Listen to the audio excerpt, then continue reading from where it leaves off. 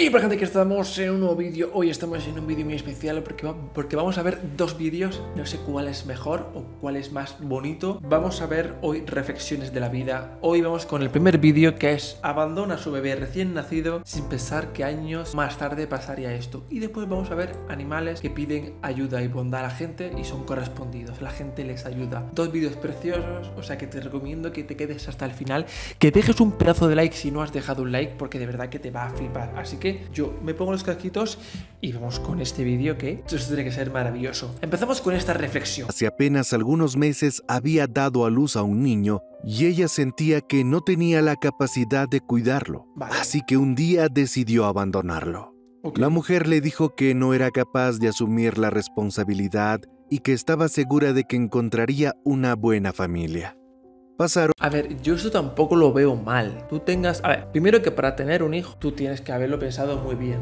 Decir, quiero tener un hijo. Pero luego, si por ejemplo, tú imagínate que te quedas sola, te pasa algo en la vida muy traumante, crees que cuando nace tu hijo no vas a poder cuidarlo bien y no vas a poder darle todo lo que necesita porque tú mentalmente o tú emocionalmente no estás bien. Creo que dar en adopción es un paso muy duro y muy valiente. O sea que no veo mal adoptar un hijo. Lo mejor sería que, hombre, lo cuide la madre, pero imaginaos que no puede por cualquier situación. varias horas desde bueno. que Diana se había marchado, Vamos cuando de repente una anciana que vivía en una de las casas cercanas comenzó a trabajar la tierra, Vale. limpiar los alrededores de la casa y recoger frutas. Ofelia estaba muy concentrada en sus labores, hasta que escuchó el llanto de un bebé y se dispuso a ver de dónde venía. De repente encontró a un niño tirado en una manta y la mujer no dudó en cargarlo. ¿Quién te habrá dejado tirado, mi niño? Hombre, lo suyo es dar en adopción a un niño, no dejarlo abandonado en mitad de la calle. Eso es de gente que está mal de la cabeza. se decía Ofelia a sí misma. Calma, pequeño, calma, yo te voy a cuidar. Diana se había escondido en un árbol cerca de donde había dejado al niño, y al ver que la mujer se lo llevaba a casa, estaba más tranquila. Esperaba que ella lo cuidara bien y le diera todo el amor que no recibiría de su madre. Ese mismo día, Ofelia le preparó un espacio al bebé para que pudiera dormir y como pudo le dio de comer. La anciana se llevaba al niño a sus labores y se encargaba de atenderlo cuando lloraba. No llores, papito. Vale. Estoy trabajando para que podamos comer. Después de un rato, el niño se quedó dormido y Ofelia se puso a sembrar. Por otro lado, Diana se dedicó a celebrar con sus amistades. Se reunían con frecuencia en su casa para tomar algunos tragos y no paraban de reírse. Mientras que la anciana, que Hombre, eso está mal, ¿no? Abandonar a tu hijo para salir de fiesta, pues no. tenía fuerza para cuidarse, se encargaba de todas las atenciones que necesita un bebé, como cambiar pañales, bañarlo y darle de comer. El niño con frecuencia lloraba, y Ofelia para calmarlo solía cantarle una canción, contarle un cuento o solo jugaba con él, Vale. y así fueron pasando los años. Cuando Felipe había cumplido seis años, se levantaba muy temprano para ir a buscar leña. Buenos días, hijo. Ya es hora de ir a buscar leña, dijo Ofelia. Buenos días, mami. Ya voy, respondió Felipe. Buscó las herramientas y en pocos minutos ya había recogido leña.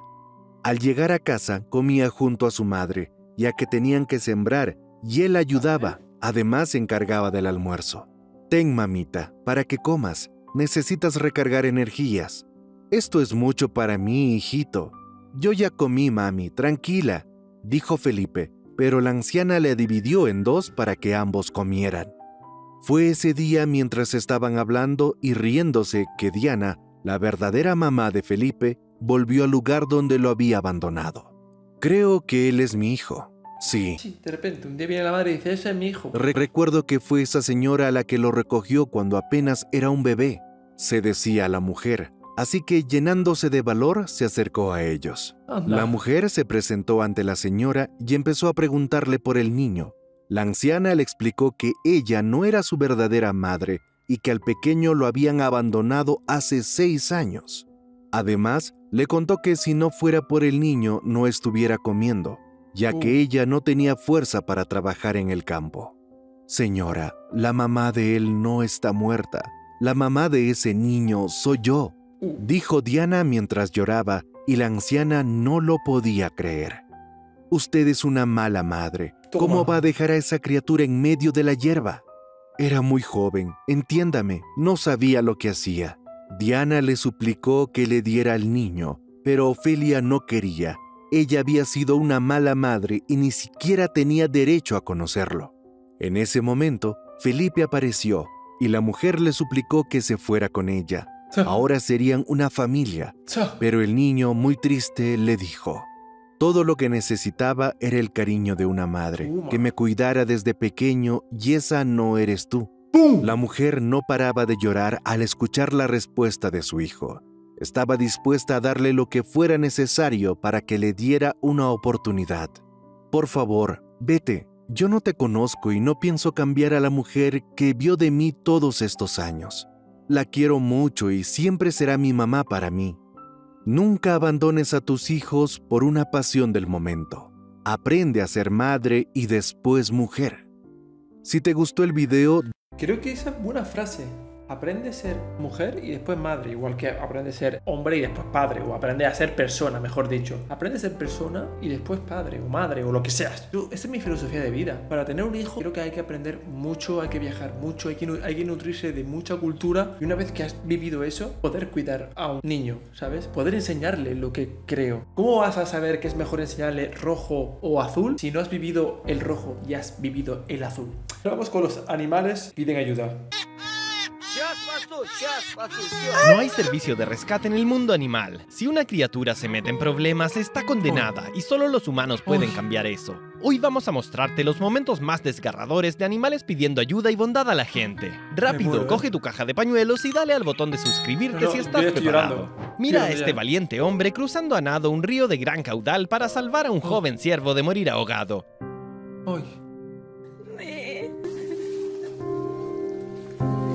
Me va a dar ganas de llorar, ¿eh? Puede ver, está Un pobre mono que- intentó escapar tras Uy. un brutal ataque de unos perros y este taxista se da cuenta de que está en estado crítico. Mira cómo le salva la vida como lo haría con un niño humano. Ay, por favor.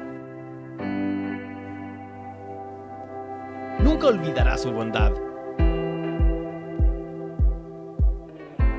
No sabemos cómo esta familia de patos terminó en esta carretera, pero ¡Patito! sabemos con seguridad que todos ellos habrían sido aplastados si no fuera por estos motociclistas. Intentaron acompañar a los pájaros al otro lado de la carretera, pero resultó ¡Patito! ser demasiado aterrador para ellos. Ay, coche. Entonces tuvieron que atrapar a los patitos con sus propias manos, por lo que la madre pato salió volando desesperada. La única esperanza de los motoristas era que toda la autopista se detuviera para su misión de rescate y todos los conductores se detuvieron. Bueno, bueno, qué, qué La familia está reunida y a salvo. Este enorme alce se quedó atascado en un pantano y uh. apenas tuvo fuerzas para mantener la cabeza por encima de la superficie. No. Hicieron falta cinco personas para sacarlo del peligro. Mira lo agotado que está. ¡Vaya!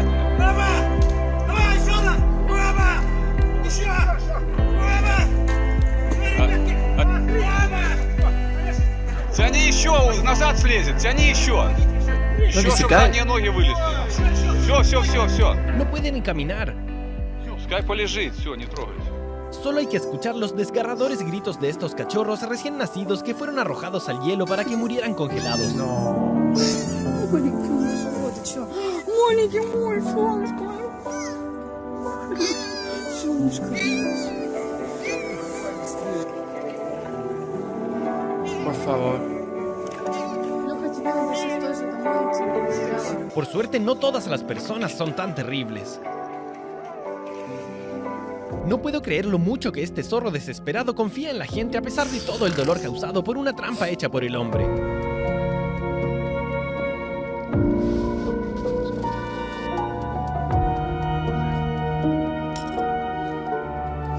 Pobrecito.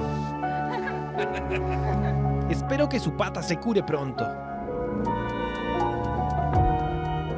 Esta ardilla debería haber fallecido. Te vamos a dejar aquí el vídeo porque de verdad me voy a poner aquí a llorar y no quiero. Espero que os haya gustado y lo apoyéis con un pedazo de like. Y si queréis más, traeremos más. Así que, wow, un beso, un abrazo, te quiero, un adiós y hasta luego. Chao, chao. Suscríbete, suscríbete, suscríbete. Si te has reído, aunque sea un poquito, dale a like. Este vídeo mola más, pero el próximo ya verás. Pero nosotros siempre disfrutamos. Suscríbete.